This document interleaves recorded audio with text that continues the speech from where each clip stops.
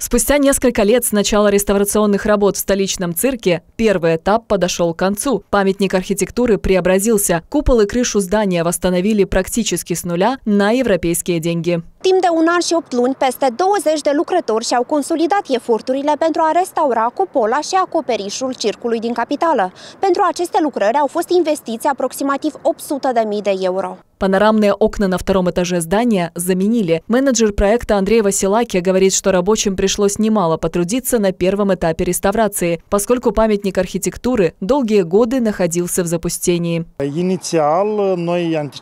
Изначально мы предполагали, что цирк в удовлетворительном состоянии. К сожалению, когда начались первые демонтажные работы, выяснилось, что старую обшивку восстановить уже невозможно, поэтому изготовили новую. Немедленно заменили элементы из стекла, установили новые двери аварийного выхода и заменили входные двери. Фасадные работы заняли меньше времени. Их стоимость превышает миллион евро.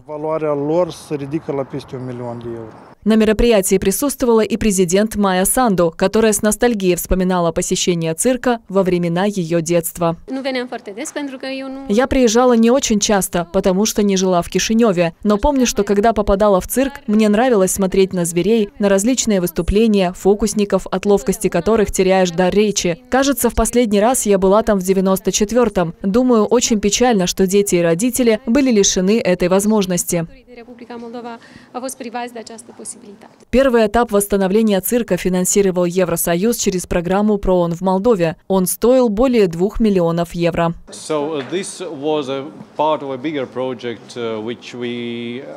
Это был масштабный проект, который мы реализовали в Республике Молдова. Помимо цирка, работы провели и в Бендерской крепости, но тот проект был поменьше. Эта инициатива предусматривает инвестиции в 2 миллиона евро. Огромная сумма для такого культурного проекта.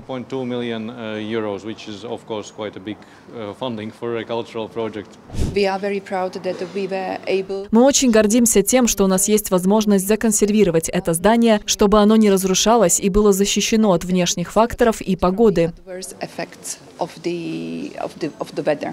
Когда цирк начнет устраивать представления в Большом зале, пока неизвестно. Власти отметили, что денег на капитальный ремонт здания нет. Кишиневский цирк построили в 1981 году. Зрительный зал в форме амфитеатра является крупнейшим в Молдове. Его вместимость 1900 мест. В 2004 году цирк закрылся для посетителей, и власти заявили, что на реконструкцию здания нужно более 11 миллионов евро. В 2014 году цирк возобновил деятельность, но представления проводят только в малом зале.